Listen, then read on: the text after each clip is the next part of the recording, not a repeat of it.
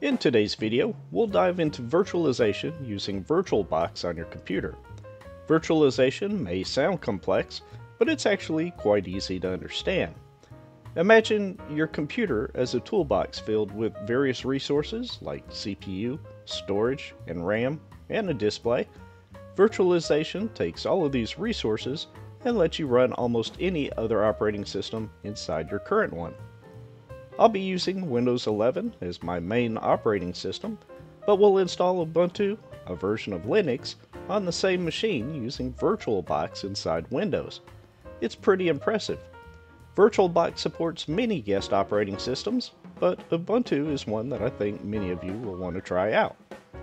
If you want to learn more about virtualization, check out the written guide linked below for detailed information. The written guide covers the main topics in this video and much more. But in this video, we'll keep things simple and concise, saving you hours of research and watching multiple videos. By the end, you'll have a fully functional virtual machine running Linux on your computer. Plus, we'll cover how to share files and the clipboard with the host operating system.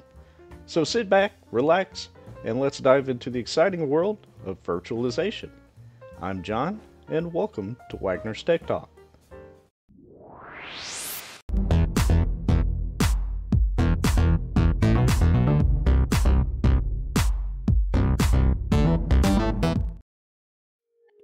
Download VirtualBox, open your browser of choice and visit virtualbox.org. Click the Download VirtualBox button. And if your computer is running Windows, you'll select the Windows host link. If you're using macOS, Linux, or Solaris, click the link for the operating system you're currently running, also known as the host operating system. I'm running Windows 11, so I'll click Windows Host. The download is relatively small, so it should go pretty quickly. Click the executable to begin the installation. From the welcome screen, click Next. There's nothing that needs to change under Custom Setup, so go ahead and click the Next button. The installer will warn you that your network connection will temporarily disconnect. If you're fine with that, click the Yes button. And if prompted for missing dependencies, click Yes to proceed with the installation. Now just click the Install button to install VirtualBox. Once the installation is complete, click the Finish button. VirtualBox will now start up. Before we can make use of VirtualBox, we'll need to download an operating system to install. We'll go ahead and take care of that next. In this segment, we'll download and install Ubuntu within VirtualBox. Open your browser and visit ubuntu.com. Click the link at the top right for Get Ubuntu. We could just click the download link here, but let's select Ubuntu Desktop. On the download page, we'll find version 22.04.4 LTS, which LTS stands for long-term support. That is, updates will be supported for it until April of 2027. Below that is a link for 2310, which is maintained until July 2024. So we'll go ahead and pick the version 22.04.4 by clicking the download button. The download is nearly 5 gigabytes and may take several minutes depending on your internet connection. Now that we have VirtualBox installed, it's time to create our first virtual machine. Go ahead and launch VirtualBox, then on the top toolbar, click the New icon to create a new virtual machine. We'll now be prompted with some questions about the guest operating system we'll be installing. Click the drop down for ISO image and select Other. Browse to the location of the Ubuntu ISO image that we just downloaded. Go ahead and select it and click the Open button. Under Folder, VirtualBox will default to your user folder However, I prefer to use a different location where I have more available storage. You can keep it at the default if you wish, or change it by clicking the drop down beside folder. Select Other, and then I'll navigate to my D drive and create a new subfolder called VirtualBox. Double click the folder and click the Select Folder button. Next, we'll give the virtual machine a helpful name. In this case, I'll keep it fairly simple and just name it Ubuntu 22-04-4, but you can name it however you want. Keep in mind some special characters can't be used for the name. Next, check the Skip Unattended Installation option so we can see everything that occurs during the installation process. Once done, click the Next button. We'll now be prompted for how much memory and how many CPUs we want to allocate to this virtual machine. These numbers will vary based on the computer you're using. I recommend being rather conservative here with the settings and stay well within the green areas. The more resources you use for the VM, the less will be available for the host operating system. The computer I'm using here has 64 gigabytes of RAM, so I'll allocate 4 gigabytes. 4 gigabytes is the minimum recommended for Ubuntu, but I'll show you how to change it after installation later in this video. Likewise, there are 28 CPUs available, so I'll allocate 6 to the virtual machine. Two processors is the recommended minimum, so be sure you don't set it any lower than 2 here. Then, click Next. Now we need to determine how much virtual disk space we're going to allocate to the virtual machine. Keep in mind the amount we allocate here is used by the VM to write the OS and anything else you install to the VM to a file. It's not partitioning the physical drive on your host computer, but rather simply creating a file called a VDI or virtual disk image that can potentially store up to whatever amount of disk space you specify here. The minimum recommended for Ubuntu is 25 gigabytes, but I'll go ahead and set it to 32 gigabytes. What you use will depend on how much space you think you'll need and how much disk space you have available. I recommend being conservative here as well. Once set, click the Next button. You'll now see a summary of everything you've defined for the virtual machine. Review it to see if there are any changes that you want to make once done, click the Finish button. We now have everything defined for our virtual machine and can begin the installation of Ubuntu. Click the Start icon from the top toolbar to power on our virtual machine. When Ubuntu first boots up, you'll see a notification bar to the right. After reading it, you can click the blue icon to hide it. Select the Try or Install Ubuntu option by pressing Enter to get started. The Ubuntu installation wizard will begin. At the welcome screen, verify the language selection is correct and click the Install Ubuntu button. For the keyboard layout, English English is good, so go ahead and click Continue. The defaults here should be fine. We want a normal installation and to download the updates while installing Ubuntu. Go ahead and click Continue. As a reminder, the disk that will be erased is the VDI or virtual disk image, not a physical drive. There is nothing to change here. Click the Install Now button. When prompted if you want to write the changes to the disk, simply click Continue. The correct time zone should be selected for you. If not, just click the map to change it. Once done, click the Continue button. We'll now create a login and password for Ubuntu enter your name, and you can change the computer's name if you wish, or leave it as is. Then enter your password twice. I'll leave the option to require my password to log in. However, you can select for Ubuntu to log in automatically if you prefer. Once done, click the Continue button. At this point, Ubuntu will begin copying all files, installing Ubuntu, and preparing the operating system. Once done, click the Restart Now button to reboot the virtual machine. After it reboots, I'll go ahead and log back in. We'll then have to step through a few more quick things. You can set up online accounts if you want. I don't, so I'll just click Skip. If you want to upgrade to Ubuntu Pro, you can select the option but for now, I'll just stick with the standard version and click Next. I'll not send any info about this machine at the present time, but I may change that later. I'll select No and click Next. I prefer not to send my location information, so I'll just click Next. Additional apps can be downloaded and installed, but we'll just click Done.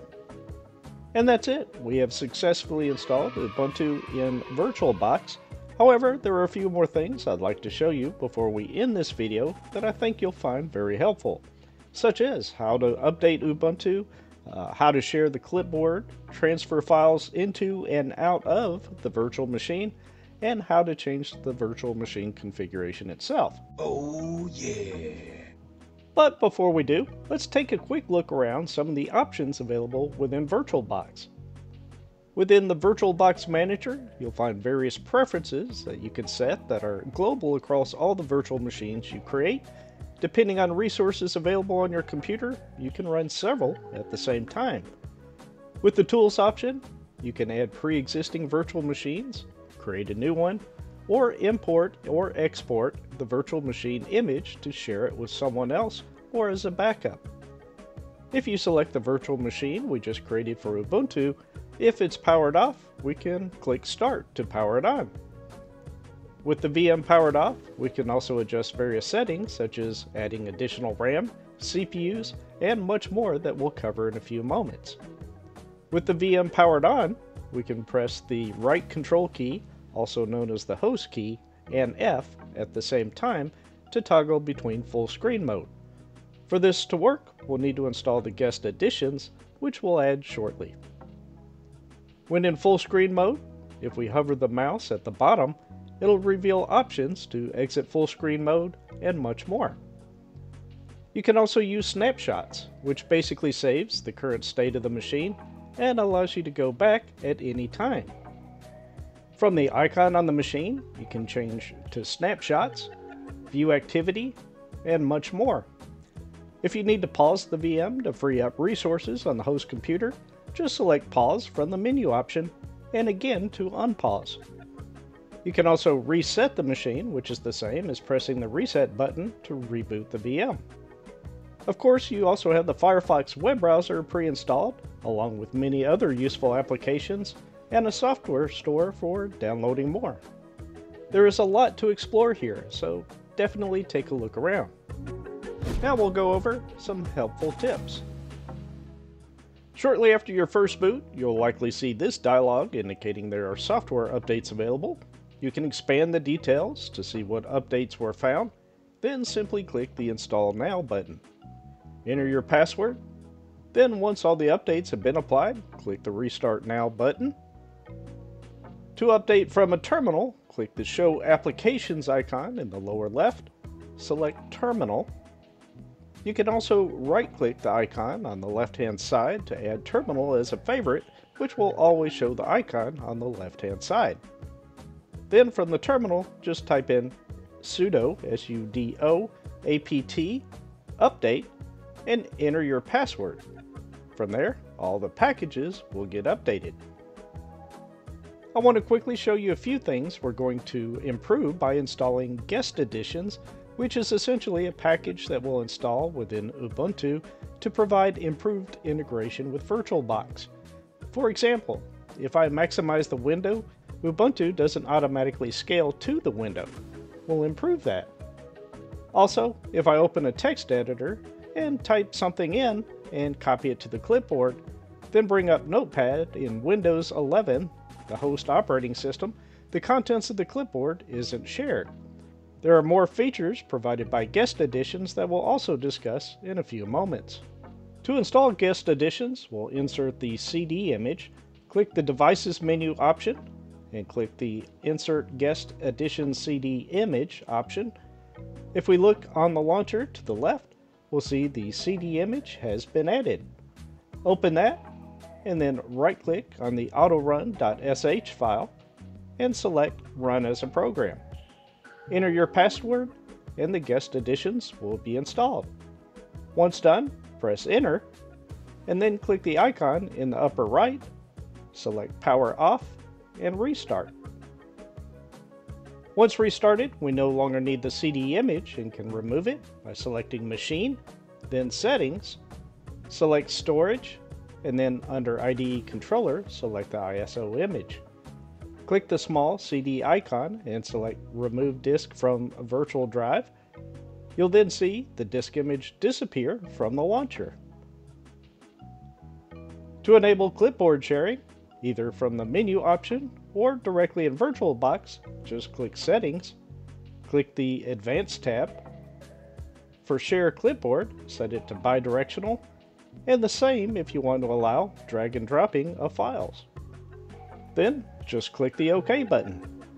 Now if I bring up the text editor in Ubuntu, then type in some text and go ahead and select it and copy it to the clipboard by pressing Ctrl plus C. Now I'll bring over Notepad in Windows and go ahead and paste. And now the clipboard can now be shared between the Ubuntu guest and the Windows host. You'll also find that when you maximize the window, Ubuntu Desktop will scale automatically. You can also select the View menu to go full screen if you'd like. Next, I'll show you how to set up a shared folder between the Ubuntu guest operating system and the Windows 11 host. From the top menu, select Machine and Settings, select Shared Folders.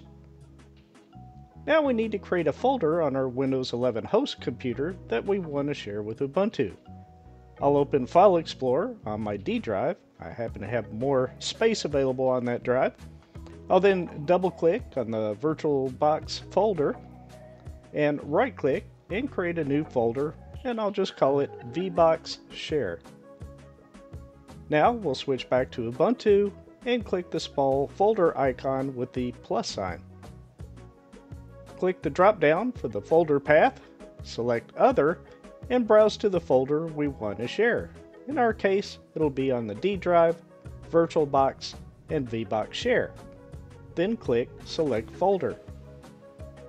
Now we want to click the checkbox for auto mount so that the share gets mounted properly. Then click OK and OK again. There is one more quick step we need to do before we can access the share. Open a terminal. Remember that you may have added it as a favorite from earlier on the launcher. Now type Who am I? All one word what we see here is the name of the user we want to provide access to the shared folder. Next, type in sudo, S-U-D-O, add user, and the name shown while typing who am I, in my case it's John, and then following that, vboxsf.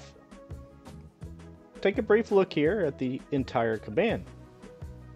Then just press enter and enter your password and now we've provided access to the user to access the share we created. Now if we click the Files icon, we'll see our new share in the lower left called sf underscore vbox share. If we select it, we'll see our empty folder. I'll right click and select New Folder and enter a name of From Ubuntu. Then double click on the folder I'll now open the text editor, type in some text, click Save, and save it to our SF VBox share from Ubuntu folder and call it somefile.txt and click the Save button. Back in Windows, I'll navigate into the same path and see our somefile.txt file. If I double click it, we can see the contents of the file in Notepad. We could add more text if we want and resave the file. Adding a shared folder is a great way to share files between the host and guest operating system. You may recall earlier that I allocated 4 gigabytes of RAM for this virtual machine. Now if we look at the system monitor and then select resources, we can see with almost nothing running, about 27% of the available RAM is being used. But we can change that. Just click the icon in the upper right, select Power Off, and power off the virtual machine. Now we can go into Settings, select System, and I'll increase the RAM to 6 gigabytes. We could also select Display and increase the amount of video memory available if we want. Ah, that's good. I'll go ahead and click OK. Now when we start up the VM, we'll see there is now 6 gigabytes of RAM and we're only utilizing 19%. That brings us to the end of another video. I hope that you found using VirtualBox is a great way to get started with virtualization on your computer. Remember, VirtualBox will let you run most any operating system you are certainly not limited to Ubuntu. If you'd like to see how to set up another operating system with VirtualBox, just let me know in the comments below what you would like to see. If you found this video helpful, please let me know by clicking the like button. It definitely helps with the YouTube algorithm show this video more often. If you would like to see more how-to videos like this one, and you haven't already subscribed, I hope you'll consider doing so. And with that, I look forward to talking with you again very soon.